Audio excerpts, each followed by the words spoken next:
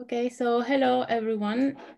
I hope that um, this meeting is going to be useful for you as it's going to be for me. Not every time I can, not every day I can sit down and talk to architecture students that are going to be, you know, building the future and thinking now about that design.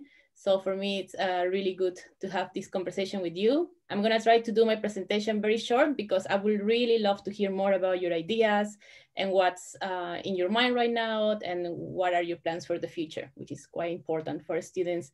And for me, because of my job, I really need to know about these things because my job is to think about the future. So, okay, so I am from Peru. Can you hear me? Yes? Yeah. Okay, good. So I'm from Peru in Latin America, close to Brazil, Chile, Argentina, and I decided to become a molecular biologist. So after when I was 21, I think I left Peru and I've been living in different places, mainly in Europe, in Finland, Sweden, Germany, and then I moved to Australia to do my PhD on sex development, which means how the X chromosome and the Y chromosome dictate gender in humans. But when I finished my PhD, I thought that I want to do something more applied. I want to do something that is going to be tackling a global priority. I want to do something that is not going to be forgotten in the academic realm and maybe never being used, but I didn't know what to do. So I started do, going to conferences on international development, something completely far away from molecular biology. And then I discovered uh, science diplomacy, which means that you can use your scientific background to help to shape policies in different governments, for example, or you can help to promote international cooperation in a scientific way and many other things. So I really like this. And that's how I started going into the world of science and policymaking. And that's actually my job now at the center. And I arrived in the UK in March very recent. So I was at the at the office two weeks and then everything just exploded and I'm working from home since then. So I guess that the, the million dollar question is which event can make humanity collapse? And I guess all of you may have some ideas based on the literature that you read, the pop culture that you are exposed, or scientific data that you may have already been reaching out in order to know what's gonna be happening in the future and how that impacts your career and professional development. So I think that many people can come up with answers for this question. So for me, the real question that is more important than this one is how can we manage, which means prevent or mitigate those type of events that can bring humanity to collapse. And for that, I think it's very common for people to think about a doomsday uh, apocalypses, you know, and the angels with the trumpets in the clouds and storm and everything. So I like to think about the future and catastrophic events in a way that I really think that the future can be nice and it can be good, not just for a certain part of the population or not just for humans, but the whole ecosystem and animals and everything that has life in this planet. So for that, I think that the trillion dollar question is where is the trillion dollar question? Yes, is that how do we make the role of science in policymaking more effective? Because you may have seen, for example, climate change is one of the events from the catastrophic realm of events that has been going farther than the rest is the one that has already the Paris Climate Agreement. We have Fridays of a strike with Greta and all the people that is really concerned, but still we don't make the mark we're still, it seems that we are not gonna achieve the, all these objectives. So it seems that the real problem is a political problem that we all have. So the question is like, how can we make science to really matter? Because I don't really think at this point, climate change needs to do more research to prove the climate change is happening and all the consequences are gonna happen. So what do you think is missing? Who is the stakeholder that is not uh, playing its role efficiently and how are the rest of stakeholders not really pushing forward for this agenda. So these are some of the things that the Center for the Study of Existential Risk wonders. And as you may already hear, uh, we are dedicated to the study and mitigation of risk that could lead to the human extinction or civilization collapse. Now, we have different type of risks. risks. Some risks could be related to nature, like an asteroid collapse on Earth or a super uh, volcanic eruption that is gonna be um, blocking uh, the aerial space and transport and preventing food going from one place to the other one. But we also have the type of events that are more related to human activities, like for example, the risk of a nuclear war, or now we have COVID-19, but next time could be a virus that has been created in a laboratory, or we also have uh, the potential misuse of artificial intelligence. So all these type of events are part of our agenda in the center. And we always wonder what's gonna happen next, what's the black swans and how we can learn to manage them, to prevent them, and if it's too late, to mitigate them. So for that, we have a very transdisciplinary, interdisciplinary, sorry, group. I'm a molecular biologist, but my colleagues are sociologists, philosophers, lawyers, economists, people working on machine learning, artificial intelligence. And I think that this diversity really make us think about a problem, but about its solutions in a very holistic way. So I have learned, I've been learning during all these months about different type of things from, for example, equations about calculating the civilization collapse in China of I don't know how many years ago, or equations to understand algorithms and artificial intelligence. And why is this important to me?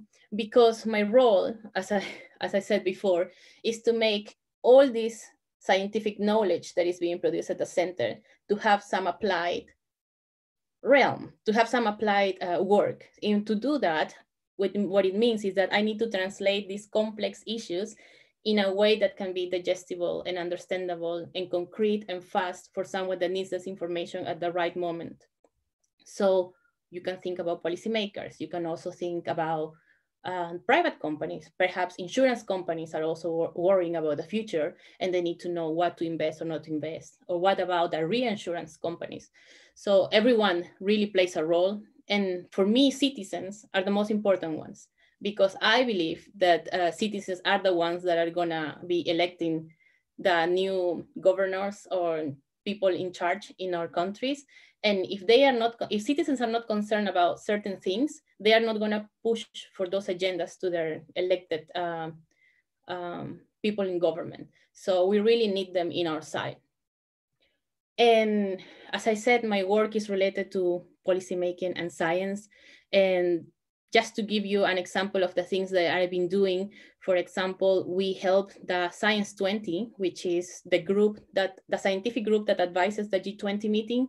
So the G20 leaders around the world meet every uh, in one month, I think, in Saudi Arabia, and they are going to be talking about the economic agenda, political agenda. So what we did was to write some policy recommendations on foresight. Foresight is a method that allows us to think about the future. And within the world of foresight, we have different methods. There is horizon scanning, future scenarios, etc. You can go and take a look on those. And these type of methods help us us as a scientist, but also to policymakers to be uh, wondering what's going to happen and how to go to, if we have 10 future scenarios, maybe we can choose future scenario number three. So what do we need to do now? Which policies need to change now in order to go and reach that future? So that's why we wrote these policy recommendations on foresight, because foresight is a method that is not widely spread within governments and even within the scientific community. It's something new that it has just popped pop out and we need to learn and see how we can use it in a way that is going to be transformative. Uh, some other thing that I'm doing, for example, with the Biological Weapon Convention. The, this is a convention where all the countries that are interested on this topic make an agreement in order to prevent the creation of the use of bioweapons. So everyone that signs for this meets every year to talk about how much they have advanced, who is doing what. There are monitoring special committees coming to these countries to see that everything is in order and okay. So every five years, there is a really big exam, let's say like evaluation of what's happening if, it, if the convention is working or, or not. So what we are gonna do with CSER and BWC is to have regional workshops and in these regional workshops, what we are gonna do is to talk about global catastrophic risk, talk about new trends, and if some policies need to change. And if some countries will be keen to adopt some new policies so we can test them. And the BWC likes our work, and we thought that they are a good channel to reach to these countries, and we're gonna have those workshops happening next year. The International Network for Government Science Advice is uh, a network that does that, uh, reaches to scientists that are in, interested to advise uh, political leaders and trains them on how to do it. You don't need to be only a scientist because they also understand that all fields are important and they want to be as transdisciplinary as possible. So if you want to take a look on that and it's something that is interesting for you, I would suggest you to go and look there. And my work with the UN Office for Disaster Risk Reduction is based on the Sendai framework. Okay, so in the same way as the Paris, uh, Paris Agreement, we have the Sendai framework, which is again, an agreement that is signed by many countries that want to deal better with risk, global risk in general. And for doing this Sendai framework, they have a scientific research agenda that underlines their objectives, its values, what go they're going to research about. And the last agenda was written in 2008 the Sendai framework was launched in 2015. And now they realize that the world is going so fast, the new trends are appearing so quickly that we need to re, re, redo this agenda. So now I'm part of the expert review group that is doing, is giving feedback about how we can write this agenda in a better way. And of course, any ideas are welcome. And I would love to hear what are your ideas because I need to write this report tonight uh, after this meeting. So let's talk more about that. Remember that question. And so on so on, I have many works that are related to this type of work, so you can have an idea.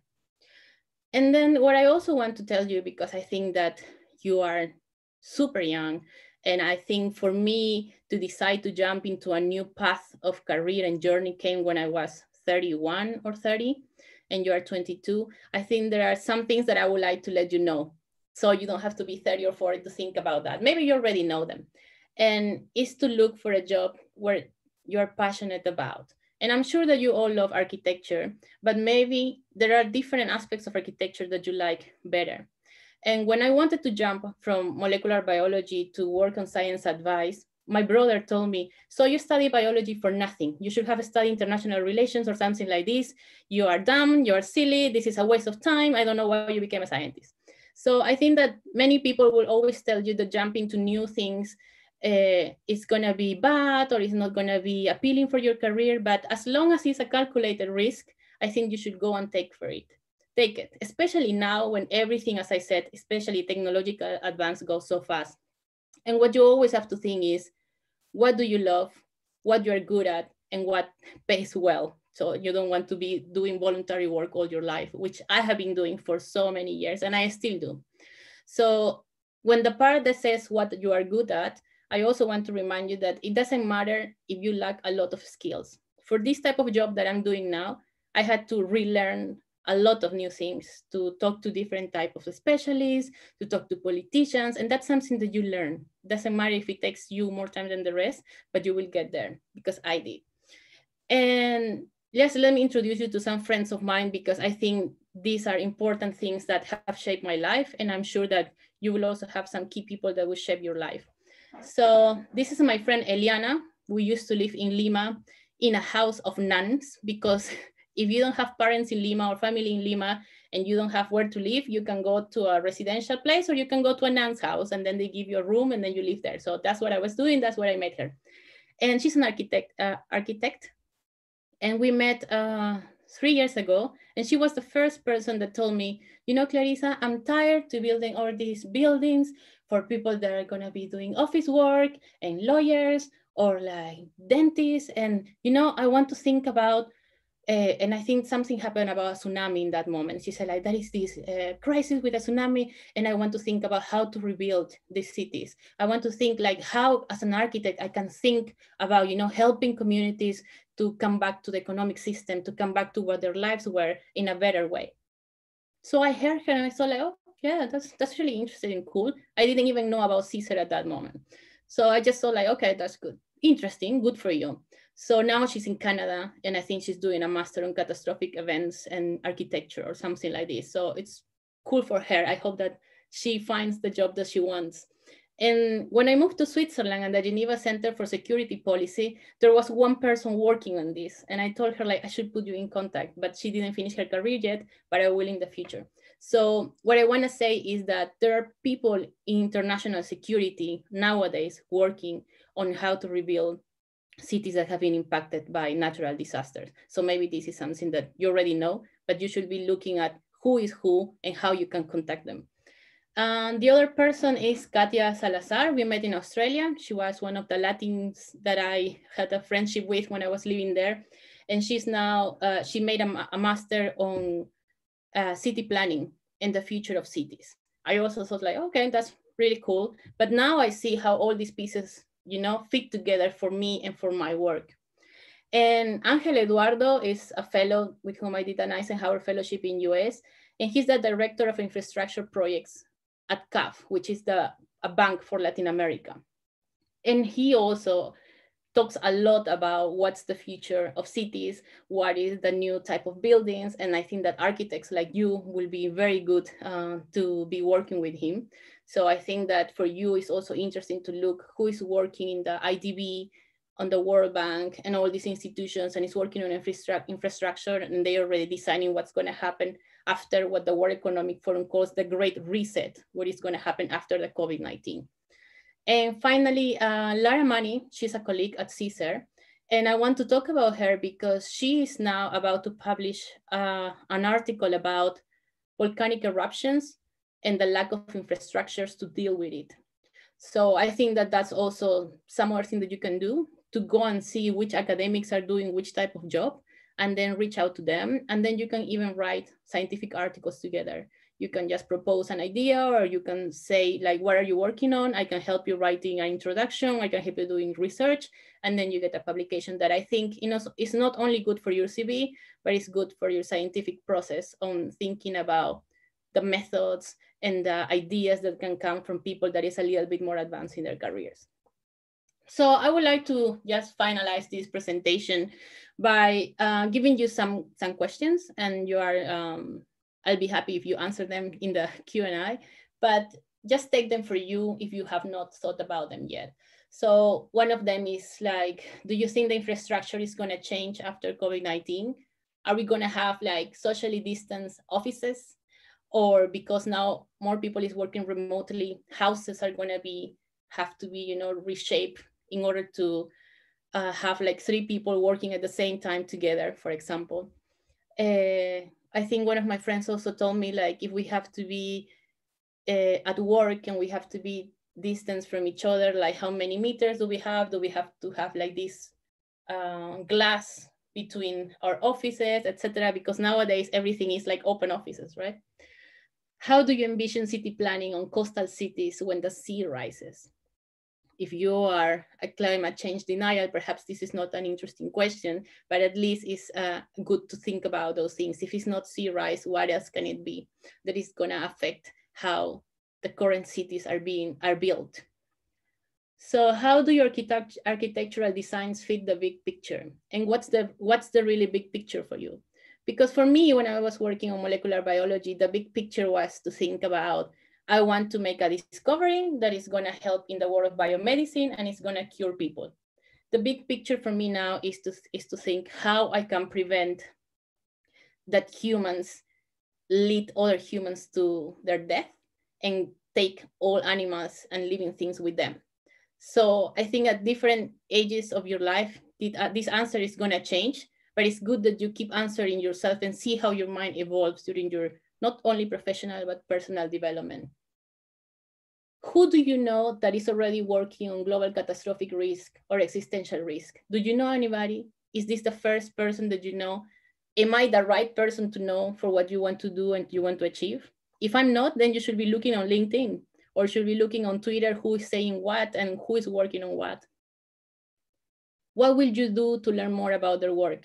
I gave you already some ideas that you can contact them, ask them to talk. Sometimes they are very busy. So if you can come up with, you know, I have this idea for an article or I'm writing this for my thesis and I just want, you know, five minutes from you to talk about this specific issue. The more specific you can go, I think the more interest you're going to get from the person that has too many things to do on the day, but will give you a space because you are also you also seem like an interesting person to know. You know what I mean? They also will benefit from this. So the last question will be, imagine that I'm someone, that I'm a philanthropist and I have a lot of money and I have a particular interest on global catastrophic risk and architecture. What would be your pitch? Give it to me now in one minute. You have to be ready. You never know who you're gonna meet. You never know. Uh, and this, um, of course, this example is a philanthropist, but it could be a future collaboration. It could be your future boss. It could be your future business partner. So have always a one minute idea of what you're passionate about and say it to everyone because that's the only real real way and fastest way that I have had for making or achieving the things that I wanted during my personal professional life. And that's it. Okay. I think that was 20 something minutes. Thank you. That's great. Thank you very much. You Very much, Clarissa. Um, shall we? Uh,